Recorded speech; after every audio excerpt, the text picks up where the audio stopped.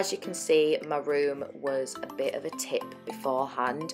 I tried to leave it until I'd made it super messy just so the before and after was even more impressive. I'd also had a big clear out of stuff I wanted to take to the charity shop, so that's why there's loads of stuff all over the floor.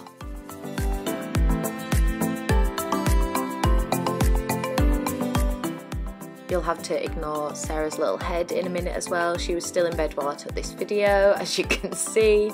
And there's Poppy. And this corner in particular is going to have one of the biggest transformations, I think, because it's going to turn into like a little dressing room corner and no longer is going to be the dumping ground where all of my random stuff ends up, basically.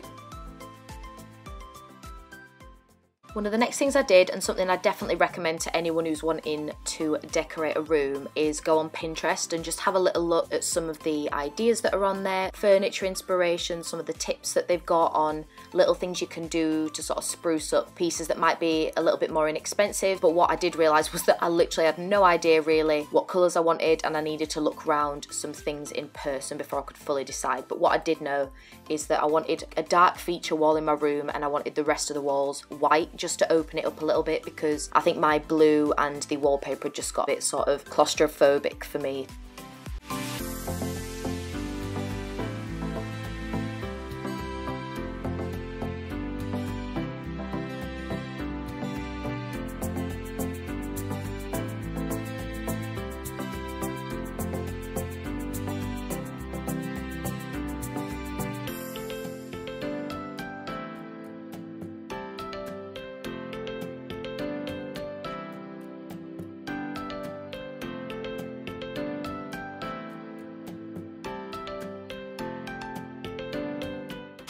We're just doing a sugar soap now of this wall. Can't really see a lot, but it's just a case of getting any last bits of residue off from the wallpaper.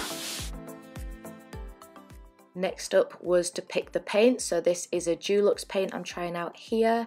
And I just wanted to find like the perfect shade of dark grey for my room because I just couldn't decide what kind of vibe to go for. At first I decided I wanted it like really, really, really dark. And then when I started to test them out, I think I realised that a middle ground was probably the best idea. So we went for some Dulux ones and also some B&Q own paint as well, just so we could try a few different ones out.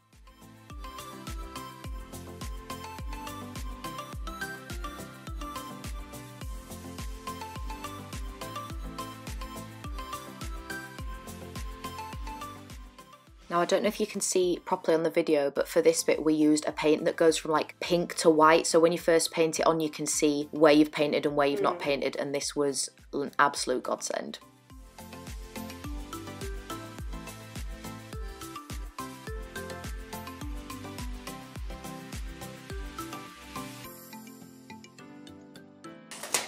Time for coat two.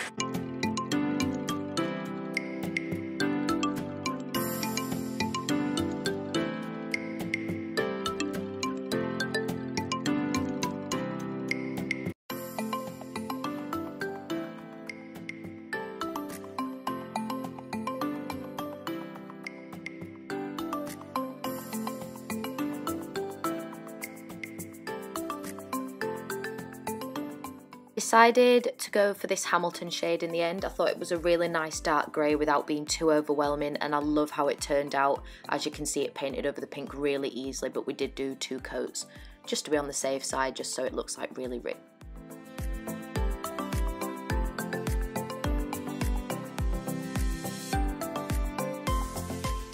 It's a bit of a weird one with my room so my fourth wall has mostly wardrobe on it so I could sort of decide whether I wanted to carry on the feature wall colour or go white and I didn't really want to do either. So we sort of came up with the idea of having the grey up about as high as a desk was going to be and then white for the rest of it to keep it from feeling too cramped and dark in the corner. So Sarah's just filling in the gap here that we ended up creating by putting tape across. And I'm really happy with how it turned out. I think this is one of my favourite bits of the room, to be honest with you, because it's just a bit different, isn't it?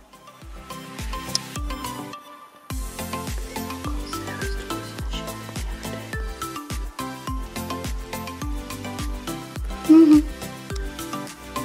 Let me see you first. You ready? Yeah. Oh, look at that.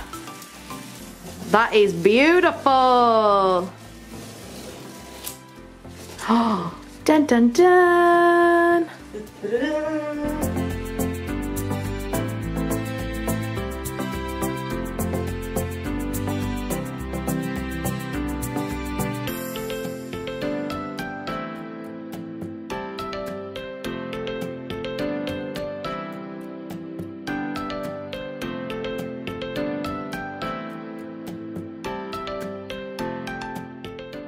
If anyone's wondering why we suddenly changed outfits halfway through this, it's not because we were lazy, it's just because we actually managed to build the desk backwards so we'd managed to put that cross bit on the front or something and basically a chair wouldn't have been able to fit underneath it and it was just a nightmare.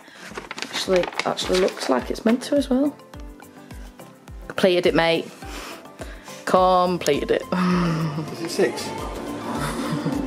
Seven. One for luck. Oh, that would be fabulous. Look, isn't that good? And even if you didn't have that one in there, that doesn't matter. does it? Four on ten. Idiot sandwich. Excuse me, vlogging. We have. Okay, team. Right. So we're putting the, the big one on first, but that's white. Dimbo. This is Oh, it says black brown. Right, mind yourself. I think I'm just gonna have to fire myself from this uh, Right. Need someone excavation them in. because apparently I'm, I'm very good at this. down. Should we do this part of it as well? Thank God for my team.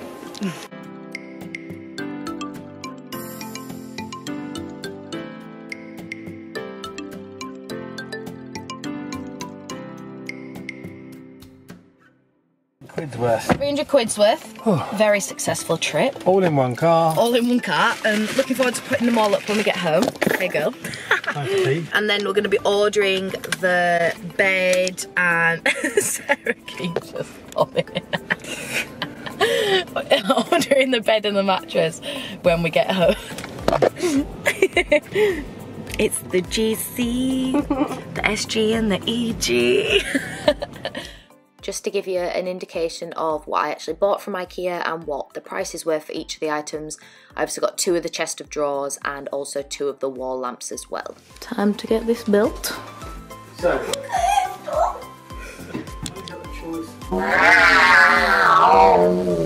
Next up was to decide whereabouts I wanted my mirror to go so that when I'm getting ready I can actually see myself in it because I am short as hell, as you can see here.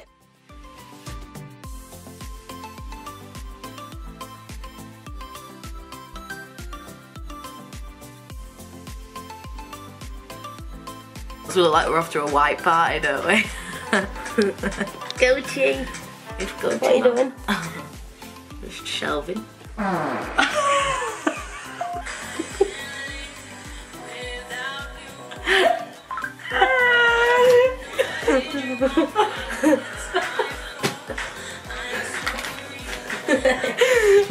I can't be asked for you.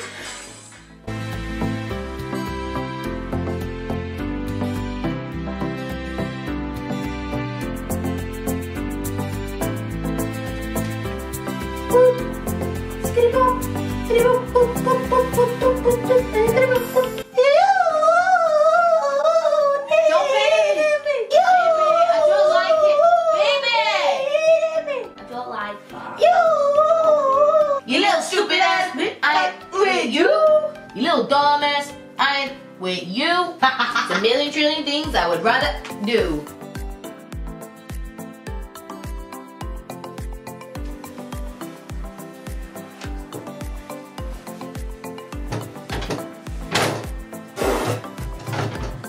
It's stressful this, isn't it? Mm-hmm. Why is this one? I swear this one's not going I don't know, maybe it just comes off on its own.